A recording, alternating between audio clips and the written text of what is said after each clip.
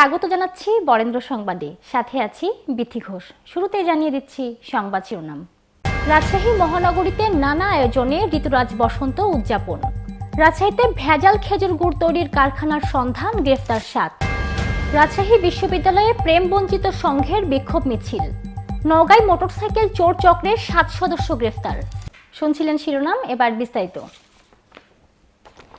রাজশাহী মহানগরীতে নানা আয়োজনে ঋতুরাজ বসন্ত উদযাপন করা হয়েছে। ফুলের দোকান, শিক্ষা প্রতিষ্ঠান ও বিনোদন কেন্দ্রগুলোতে বসন্তের আগমনে সবুজ নগরের প্রকৃতি সেজেছিল নতুন সাজে। সোমবার রাজশাহীতে বিভিন্ন শিক্ষা প্রতিষ্ঠানে বসন্তের প্রথম প্রহর থেকেই বর্ণিল আয়োজনে শুরু হয় আগুন রাঙা বসন্তকে বরণ।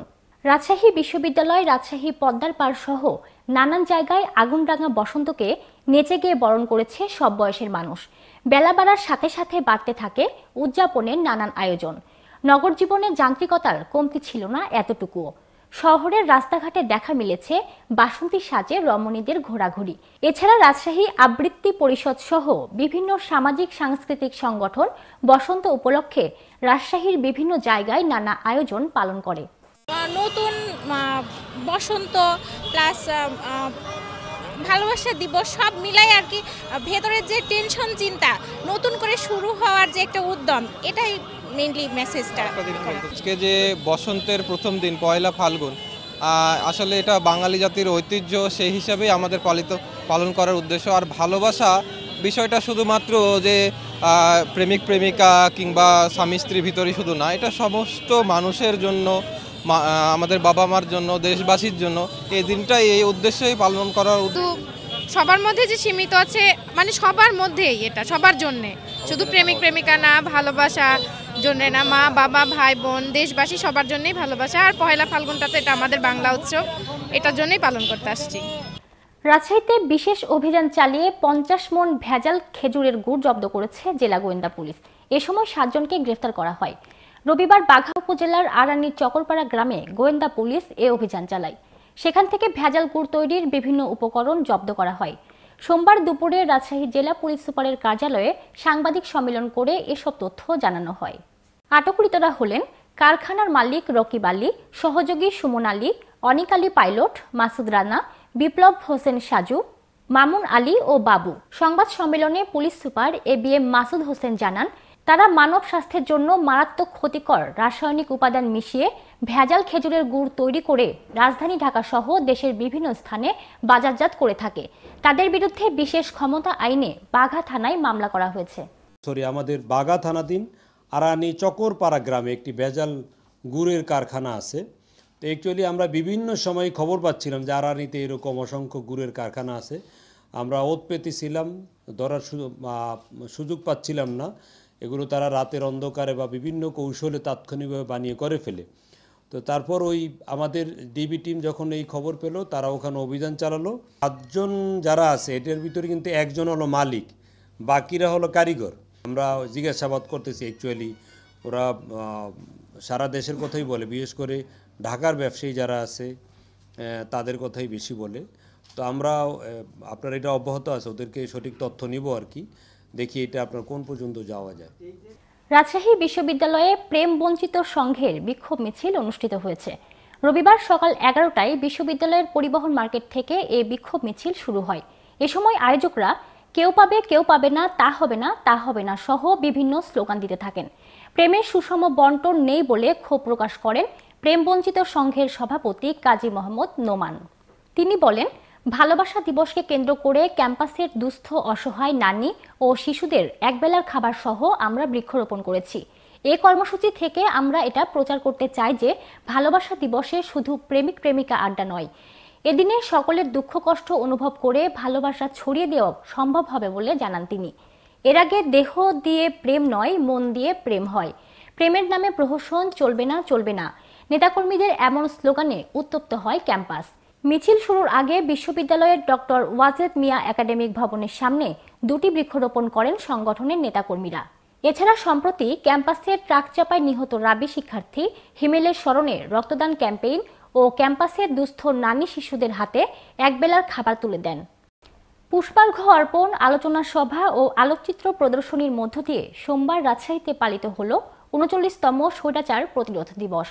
উনিশশো তিরাশি সালের চোদ্দই ফেব্রুয়ারি তৎকালীন স্বৈরশাসক এরশাদ সরকারের শিক্ষামন্ত্রী মজিদ খানের শিক্ষানীতি প্রত্যাহার, বন্দি মুক্তি ও জনগণের মৌলিক গণতান্ত্রিক অধিকারের দাবিতে সারা দেশে ছাত্র সংগ্রাম পরিষদের ব্যানারে তৎকালীন সামরিক স্বৈরশাসক এরশাদ বিরোধী বিক্ষোভ শুরু হয়। ওই দিন পুলিশের গুলিতে জাফর, জয়নাল, কাঞ্চন, দীপালি সহ সারা দেশে এগারো ছাত্র প্রাণ হারায়। এই দিবসটি স্মরণে আলোচনা সভার আয়োজন করে সাবেক ছাত্র সংগ্রাম পরিষদ রাজশাহী। কর্মসূচির শুরুতে শহীদ জাফর, জয়নাল দীপালি, কাঞ্চন, মোজাম্মেল আয়ুব সহ সেদিনের সকল শহীদদের প্রতি পুষ্পার্ঘ্য অর্পণ ও তাদের স্মৃতির প্রতি শ্রদ্ধা রেখে নিরবতা পালন করা হয়।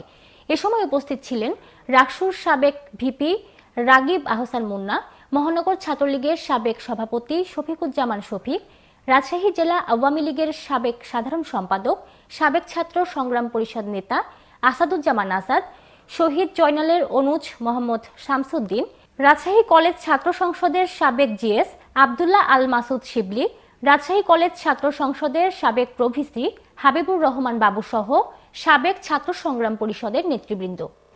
নওগাঁয় আন্তজেলা সংঘবদ্ধ মোটরসাইকেল চোর চক্রের সাত সদস্যকে গ্রেফতার করেছে নওগাঁ সদর মডেল থানা পুলিশ। গত চব্বিশ ঘন্টায় অভিযান চালিয়ে নওগাঁ শহরের বিভিন্ন স্থান থেকে তাদেরকে গ্রেফতার করা হয়। এ সময় চোরাইকৃত দশটি মোটরসাইকেল জব্দ করা হয়। সোমবার দুপুরে নওগাঁ সদর মডেল থানায় এক সংবাদ সম্মেলনে এ তথ্য জানানো হয়। গ্রেফতারকৃতরা হলেন শহরের ইঁদুর বটতলি এলাকার জালাল মোল্লা, চাইলাম এলাকার গোলাম রাব্বানি, মধ্য দুর্গাপুর হাজিপাড়া গ্রামের নাজিম উদ্দিন সর্দার ও ইমরান হোসেন, মকরামপুর মধ্যপাড়া গ্রামের শরীফ হোসেন ও নাহিদ হোসেন, চকমুক্তার বৌবাজার এলাকার নুরুল ইসলাম। সংবাদ সম্মেলনে অতিরিক্ত পুলিশ সুপার গাজীউর রহমান বলেন গত দুই ফেব্রুয়ারি বিকেলে সদর থানার চকগড়ি প্রাথমিক বিদ্যালয়ের সামনে টিএমএসএস এনজিও গেটের সামনে থেকে ফরিদুল ইসলাম নামের এক ব্যক্তির সুজুকি হায়াতে একশো দশ সিসি মোটরসাইকেল চুরি হয়। পরে ফরিদুল ইসলাম থানায় একটি মামলা দায়ের করেন। মামলার সূত্র ধরে পুলিশ সুপার আব্দুল মান্নান মিয়ার নেতৃত্বে শহরের বিভিন্ন স্থানে অভিযান পরিচালনা করে সংঘবদ্ধ মোটরসাইকেল চোর চক্রের এই সাত সদস্যকে গ্রেফতার করা হয়। এ সময় তাদের হেফাজতে থাকা বিভিন্ন সময়ে চুরি হওয়া দশটি মোটরসাইকেল উদ্ধার করা হয়। তিনি আরও বলেন এই চক্রটি বিভিন্ন সময় বিভিন্ন স্থান থেকে মোটরসাইকেল চুরি করে মোটরসাইকেলের রং পরিবর্তন, chassis number, engine number overlapping করে দেশের বিভিন্ন জায়গায় বিক্রি করে আসছিলেন। গ্রেফতারকৃতদের বিরুদ্ধে থানায় একাধিক মামলা রয়েছে। তথ্য ও যোগাযোগ প্রযুক্তি প্রতিমন্ত্রী জুনায়দ আহমেদ পলক বলেছেন নাটোর বগুড়া মহাসড়কের কাজের ঠিকাদাররা এত প্রভাবশালী হওয়ার কারণ কি? উচ্চ আদালতের নির্দেশের পরও সড়ক ও জনপথ বিভাগ কেন তাদের বিরুদ্ধে ব্যবস্থা নিতে পারছেন না? আগামী এক মাসের মধ্যে নাটোর বগুড়া মহাসড়কের কাজ গুণগত মান ঠিক রেখে সমাপ্ত করা না হলে ঠিকাদারদের লাইসেন্স বাতিল করে কালো তালিকাভুক্ত এবং টেন্ডারের মাধ্যমে নতুন ঠিকাদার নিয়োগ দেওয়ার হুঁশিয়ারি দেন তিনি।